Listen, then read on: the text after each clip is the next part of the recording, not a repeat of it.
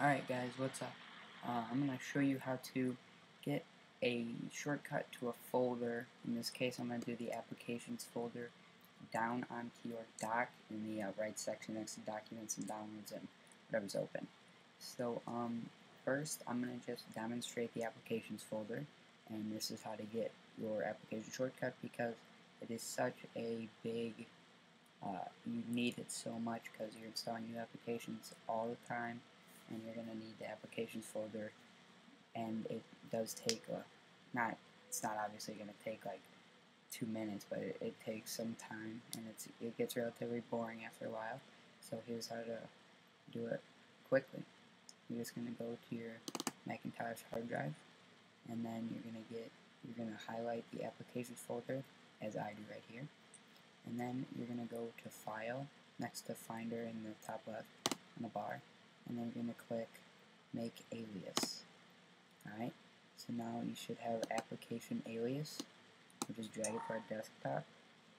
I'll minimize that, and then I'll name this just applications. And then just drag it, and I'll drop it right there. Alright, so now, and then we can move that to the trash. So now, if I was installing a DMG, I'm just going to open this DMG just to demonstrate. I'd say you got the package, but normally it would just be the application. Now we can open up our application shortcut. Boom. We got all our applications right here. Alright? Simple as that. Drag it in here, do whatever you gotta do for the to install the application. And that's how you can quickly get to your application. So I'll do that again.